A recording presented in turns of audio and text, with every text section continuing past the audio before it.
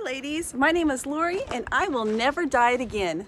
I'm a conservative Christian, a wife, mother, grandmother, pastor's wife, and my family and I have lived in Mexico since 2004. I'm so glad you've come to join me today. Welcome to my kitchen.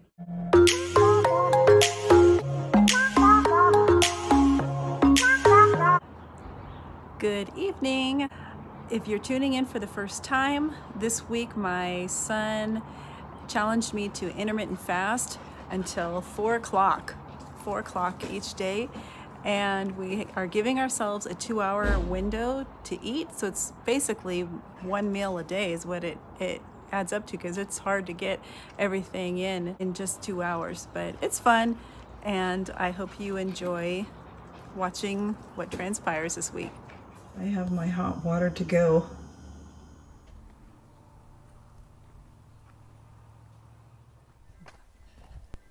Out getting my vitamin D.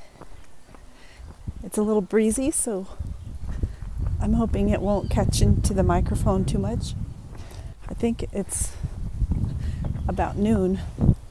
But last evening I was I went to bed around 10 and I had kind of a headache, and I'm sure it's from having a coffee withdrawal because I'm not going to drink coffee at four o'clock.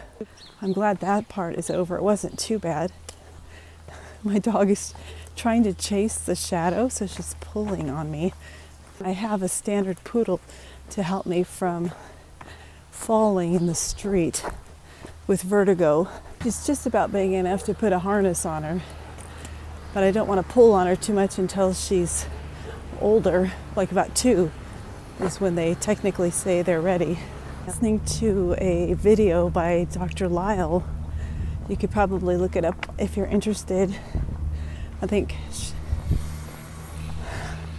I think Chef AJ did it a while back, uh, but it talks about he talks about fasting, and there's some really good information on there. There's three tips for success when you're going to go home from having done one of their programs. And then he then he talks about uh, chronic fatigue, which I I struggle with so so much. Happy Valentine's Day! What a day to be fasting until four on Valentine's Day. Well, it it'll pay off in the end. I'm sure it will. There's a couple of things that I've noticed Originally, when I dry fasted until 4, it was called Nothing Until 4. I did this back in uh, 2019, and it was before I went on the McDougall program, and I was eating raw. Now, something about eating raw was that one of the doctors, I can't remember which lecture I was lis listening to, they were explaining that when you eat the non starchy vegetables, the greens, they have they're packed full of protein and they actually give us energy. And so the the the starches like potatoes, they can make you more drowsy. So this makes so much sense because when I was doing raw until and then eating nothing until four, and then four o'clock was normally my slump time of day when I had to go take a nap. I had tons of energy. I felt like the energy, Energizer bunny and it was because I was eating these huge salads, and so that was energy. Now, they were making a point that if you eat a salad, or like the other day, a couple of weeks ago, I had celery. I, I wanted a quick snack, and then I wanted celery, and then I couldn't fall asleep. It's because the celery gave me energy, whereas if I would have had something more starchy, like a potato wedge, I probably would have gone to sleep. It made so much sense to me. I was like, oh, that's cool to put that connection together. So try to eat your, your non-starchy veggies, your protein veggies, your raw veggies during the day when you want to be more active. And then in the evening when you want to go to bed, eat your, your starches so that you'll be sleepy and ready to get a good night's rest. Well, we need to do that if we're having trouble sleeping. I was listening to Dr. Lisle. What he mentioned was that when we sleep, the body produces a hormone that kind of does a clean sweep. It cleanses our brain. and when we don't get enough sleep, we wake up with a dirty brain, with a dirty mind. That's the tired feeling that we feel. And when that happens over a long period of time, then you end up with chronic fatigue. Now, he said a lot of us will use coffee to wake back up. So we're suppressing the, de- the need and the desire to sleep properly. And if we can't fall asleep at night because we haven't uh, exercised enough or done enough strenuous, hard labor, you just find yourself in this horrible cycle. And he said then the nerves get affect- affected because the nerves the nerves are telling you to, that they want to sleep but your brain has had coffee and it says it doesn't want to sleep and the nerves then won't let give you the energy to exercise. Isn't that wild? So you're wanting to exercise but you don't feel like exercising so you're just chronically fatigued i think that that's just crazy because i might lay in bed and at 11 o'clock my nerves are jumping all over the place, so I can't sleep. I'm sure coffee makes that worse. And I did sleep a lot better last night, I think. I didn't have to apply any of the mint cream to calm things down. I just slept. So I think I think I do feel better today. So how can I get off of this uh, roller coaster? I guess I have to make myself exercise even when my nerves are telling me that I'm too tired to exercise because it wants to sleep. Stay off of the caffeine so that I'm not awake when I need to go to sleep and it's not aggravating my nerves to want to then stay awake later at night, I guess, because they seem to wake up at 11 o'clock. And I need to continue to try to go to bed earlier, like when the first, when I get that first round of I'm sleepy, I need to go to bed, which is pretty much after the sun goes down. I'm like, oh, I'm to the point now of retraining myself where I, I'm like, okay, I want to clean up. I want to go take my hot bath. I want to go lay in bed and I just want to be quiet. So that's a good thing. That's my update on the chronic fatigue. As far as the intermittent fasting goes, I just think it's funny that we chose to do this on Valentine's Day.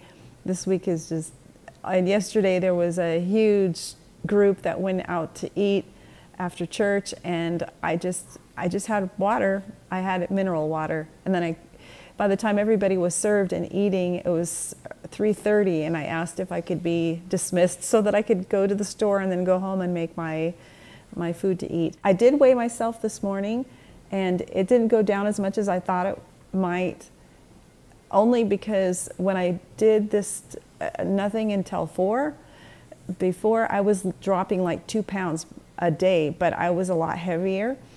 But yesterday in my soup, I added two tablespoons of the liquid amino acids, and that is high in sodium. So tomorrow is my normal regular weigh in.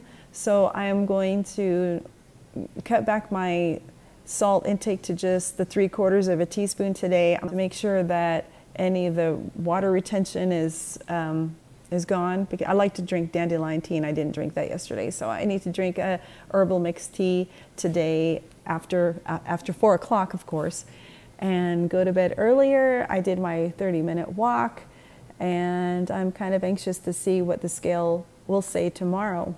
Feel like I bought way too much stuff at the store today. I was glad we had to make a Costco run, and they had Brussels sprouts I know a lot of people like Brussels sprouts, and I haven't liked them yet. So I, I'm determined. Well, you know what? I do like them in when they're sliced super thin, raw in a salad. I do like that. So today I'm going to be trying Brussels sprouts by boiling them first. I'm going to see how they are cooked through by boiling them and then adding I don't know what I'm going to add because I was thinking I'd add liquid aminos to it, but maybe I'll just do a little dab just to taste one because I'm kind of anxious to try them. What's your favorite way of eating Brussels sprouts if you happen to eat them? I made potato nuggets for my husband, and here's my Brussels sprouts and sweet potatoes. They cooked up real nice. I'll include the recipe in the description. I added a quarter cup of oats. I added a tablespoon of my seeds from seed cycling. I added my salad dressing that I loved so much, and it was pretty good. Here I ate a full bowl, and then I had another half a bowl. That was all of it. I ate five of the potato nuggets and then I am just showing you how I cut these potato nuggets to freeze and I had my little cappuccino and my brownie cake. It's just after six. It feels like it's been a long day already. I've been in the kitchen. I'm ready to go back to, to the house, walk one more time because uh, Missy here has a lot of energy. so, which is good. It keep, makes me move. I made Brussels sprouts. Actually it was really good. If I did something different with the Brussels sprouts, I would not cook them as long for one.